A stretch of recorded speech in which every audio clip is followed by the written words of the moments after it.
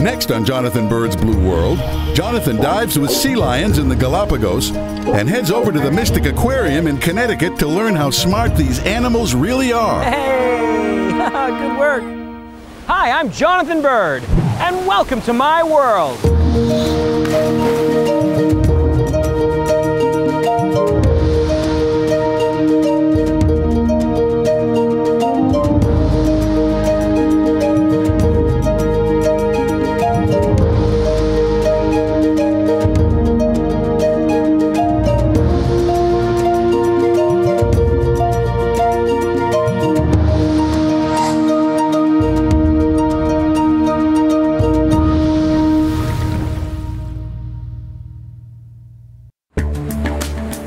The Galapagos. These remote islands are one of my favorite places in the world to dive. The land ranges from desert like and inhospitable to lush and green. And the Galapagos are famous for endemic species such as the massive land tortoise that munches on grass and leaves, and the marine iguana, Underwater, huge schools of hammerhead sharks patrol the drop off.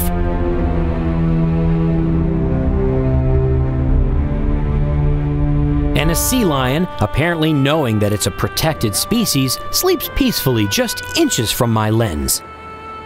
The sea lions in the Galapagos are so comfortable around people that they've even taken over a few of the marinas. Good luck walking down these steps. Out on a beach, a sea lion mother sleeps peacefully while her pup nurses. Pretty soon it will be mom's turn to go feed and the pup will rest.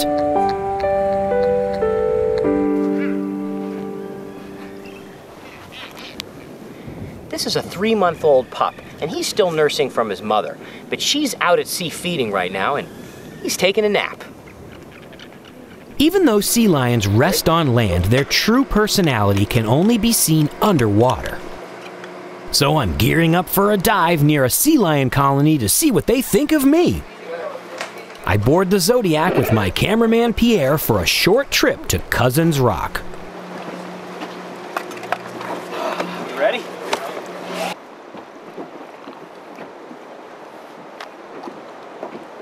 Uno, dos, tres. Pierre and I roll into the chilly water, and within seconds, a young sea lion buzzes me. The younger ones are the most playful. Once they figure out that I'm in the mood to play with them, the sea lions come from every direction, zooming past my camera lens, blowing bubbles, and generally making me feel like a pretty pathetic swimmer. The sea lions are lithe and flexible, able to twist and turn on a dime, bending their bodies into what seems like impossible angles.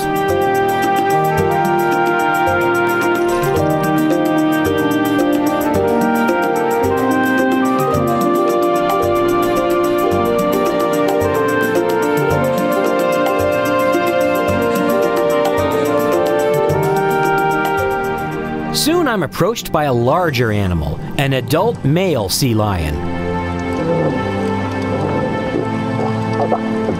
When it comes to sea lions, the adult males have control over a section of beach, a section of water, and all of the females and younger males in the area.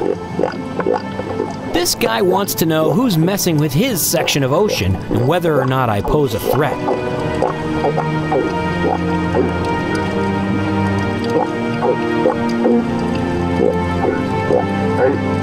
I'm not sure what his strange croaking vocalizations mean, but he certainly finds my camera lens interesting.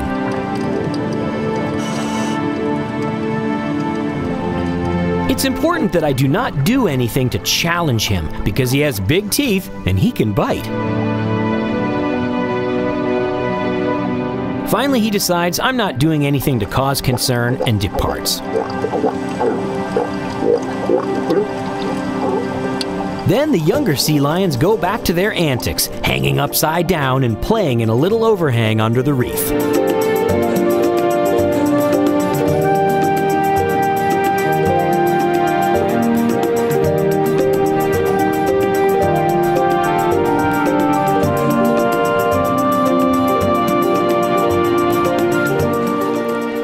You know, very few animals in the ocean will play with people and sea lions are probably the most playful. It's so great. I mean, you get into the water and they're like puppy dogs.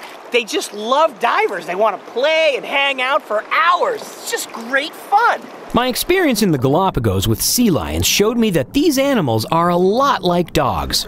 They're curious, playful, and seem to enjoy interaction with people.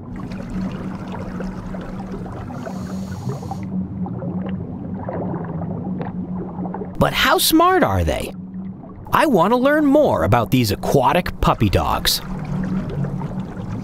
So I've come to the Mystic Aquarium in Connecticut to learn about sea lions from some experts. Since 1973, the Mystic Aquarium in Mystic, Connecticut has been one of the premier public aquaria in the United States. Their exhibits, both large and small, highlight underwater life from around the world. Perhaps one of their most famous exhibits is the outdoor beluga whale habitat, where sometimes it's not actually clear who is watching whom. The Mystic Sea Lion program is famous around the country for the amazing skills they have taught to their California sea lions.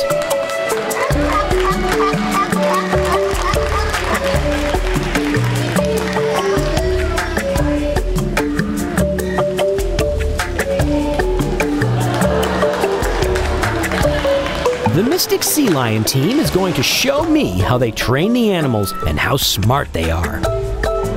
First, I meet with Sea Lion trainer Deborah Pizzaglia. For a week. Chances are that consequence is going to cause. She introduces me to the largest sea lion at Mystic, a big male named Coco. Hi, big guy. Wow. Good. This is Coco. Hi, Coco. He is 24 years old. He weighs over 700 pounds. I'm a little nervous about getting a smooch from an 800 pound sea lion, but this is my job. Ooh, fish breath. Good boy. There you go. You can stand up. You're all set. I gotta tell you what, that's a big animal. Next, I meet a smaller sea lion named Boomerang, and Deb shows me how they start the training program. So this is Boomerang. He's four years old. It involves a lot of fish and a bright ball on a stick as a target to keep the animal's attention. Trusting relationship. Once we establish that, we pair that word good that I was telling you about with the fish. Fade out the target to actually being a hand signal. Good. And then pretty soon it's just ta-da. Good.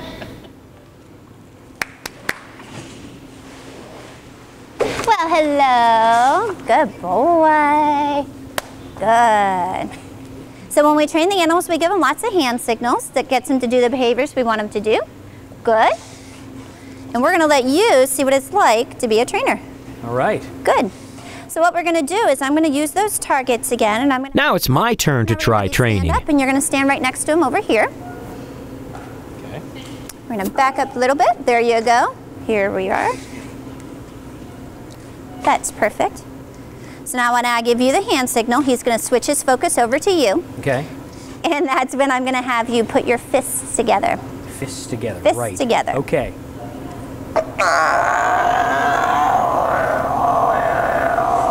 You can drop him. That is the, the signal to burp.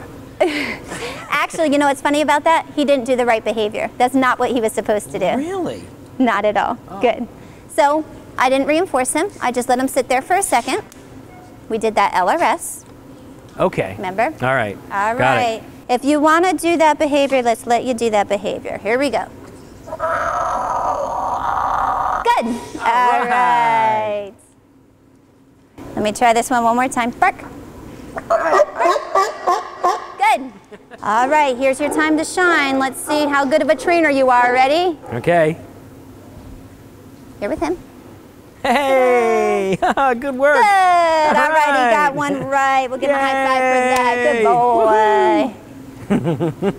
All right, let's see if we can have you get him. Later, I head behind the scenes to learn what it takes to keep these sea lions healthy and well fed. This is Julie. Hi, Julie. Jonathan, I'd shake your hand, but you. Inevitably, these things always seem to involve some smelly fish.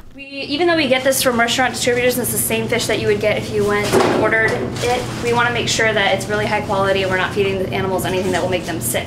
I meet trainer Jen Rigo, who happened to pull fish duty today. Any fish that have cuts in them, like this has a We have to thaw, sort, and inspect the fish. potential for bacteria to get in there, and we don't want to feed that to our animals. You guys need some sharks. They love the ones with the cuts in. we make sure that there's nothing that's going to make our sea lions sick. Yeah, this one's like a board. Yep, so we're gonna run him under the water and let him kind of soften up a little bit so he's got a little bit of that fish wiggle to him. Perfect. Nice. Come back. Maybe we can revive him. I don't know if the sea lions want to work for their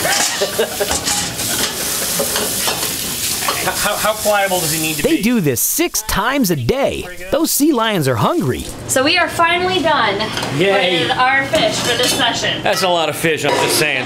Wow. So right here, this is all the fish the sea lions eat for one out of six sessions of the day. Wow, so you start again in two hours. Exactly. Hopefully But- we'll be out of here by then. Next, trainer Kristen Patty takes me out to the stage where I'll try one of the less glamorous jobs in the Mystic Aquarium. These go right over my shoes then. They should. These are like hopefully like they'll fit. galoshes, you know? All right, here we go. What if my foot's too big? I don't think it's going on. Oh, they're never gonna come off. Now I wear muck boots. Oh, it's never a good sign when you gotta put on footwear like this before you get started. Okay, I'm ready. Ready? I'm ready. We're gonna go in the back and go on stage. Okay.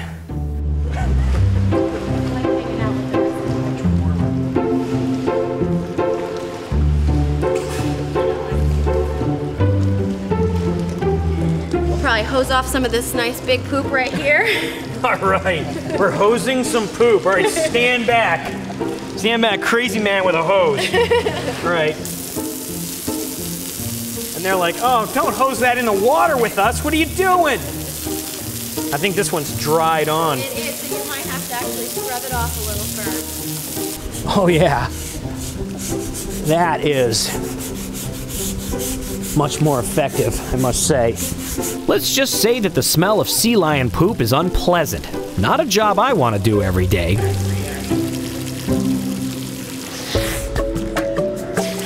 My day at the Mystic Aquarium is a lot of fun. What did I learn? Sea lions are very smart, at least as intelligent as dogs. Some of the sea lions at the Mystic Aquarium know more than 100 commands and hand signals.